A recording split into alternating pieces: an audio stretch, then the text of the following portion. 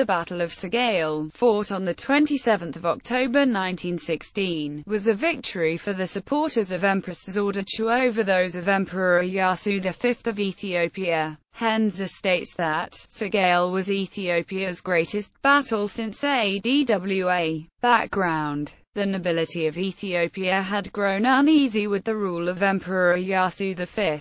At last, when Iyasu failed to observe the important religious holiday of Meskel in the capital Addis Ababa, instead he remained in the predominantly Muslim city of Harar, they decided to strike. A number of nobles met 17 days later on the 27th of September, and convinced Abuna Mattewos to excommunicate Iyasu on the accusation that he converted to Islam, then announced on the steps of the palace that Iyasu had been deposed in favor of Empress Zewditu. The plotters had sent orders to Harar that Iyasu would be arrested, which went astray. Sources dispute exactly what Elijah did next. Bahru Zewde states that Iyasu started to march on Addis Ababa, but his advance was blocked at Mieso by 15,000 soldiers and he fled into the Afar Desert. Harold Marcus, drawing on the reports filed by the European diplomats, states that instead Lij Iyasu had sent one force towards the capital and under Dejazmach Gebra, and another, raised from loyal Afars and Somalis.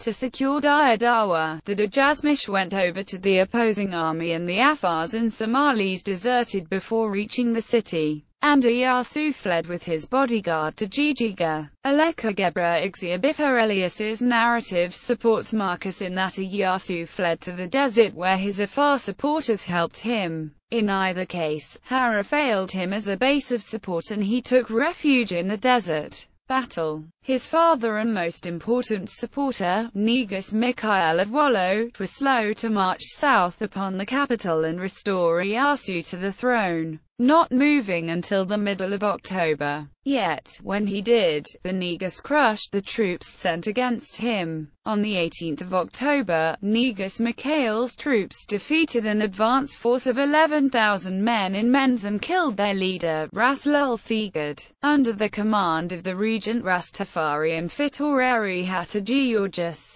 a force estimated to number between 25,000 and 35,000 marched north to do battle and the two armies came to face each other at Segale on the 22nd. Afterwards, but then Rastafari stated that because bloodshed among Ethiopians themselves is extremely saddening, I arranged that monks from the monasteries of Debre, Libanos and Zuqualla should come with their crosses to request Negus Mikhail to go back to Wollo without making war. Negus Mikhail is said to have simply arrested these emissaries, ignoring their message. Negus Mikhail opened the battle early in the morning, but his artillery was put out of commission by his opponent and his machine gunners ran out of ammunition. Aleqa Gebre Igziabiher Elyas, drawing from eyewitness accounts, describes the battle opening with a charge of Negus Mikhail's infantry and cavalry. However, the Shewan troops had been trained to fire their rifles in rows and from the prone position, allowing them to fire in quick succession, and felled them, like leaves. Then the Shewans attacked, and they pursued the army of Wello and took captives and particularly the Shewan cavalry went from valley to valley, and overran Negus Mikhail's camp, at 3.25 p.m. One of the Shewan officers telephoned to the capital that they had won the battle. The dead are very numerous on both sides. Aleqa Gebre Igziabiher Elyas explains one cause for this bloodshed was that the two sides did not differ in dress or insignia, and could only distinguish each other by their passwords, which were not always well known to the soldiers.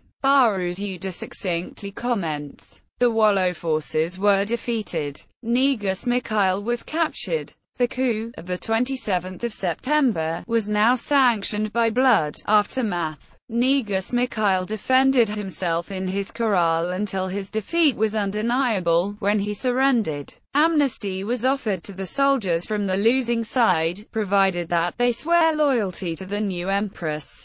However, two of Negus Mikhail's chief lieutenants escaped the battle unvanquished. Ras Yima, who managed to rally some of the defeated army and lead them to Dessie, and Fitawrari Sarabizu, who discarded his weapons and battle dress and slipped from the battlefield in the garb of a sick priest with a single servant, and met up with Ras Yima in Dessie. Dejazmish Gebrigziabitha who had been a lukewarm supporter of Negus Mikhail sat out the battle. But when Negus surrendered and he attempted to flee back to Wello, the peasants of Aliyu Amba ambushed and killed him. As for the deposed Lij Iyasu, he had just reached Ankober by the time the battle ended. He led his small army of 6,000 into the desert back to Dessie arriving there the 8th of November and joining with Ras Yima and Fitawrari Sarabizu. When the Imperial Army reached that town the 10th of December, he fled further north to the old stronghold of Amba Mariam. Further away from the center of power, Iyasu could not even slow down the consolidation of the new government, notes Harold Marcus.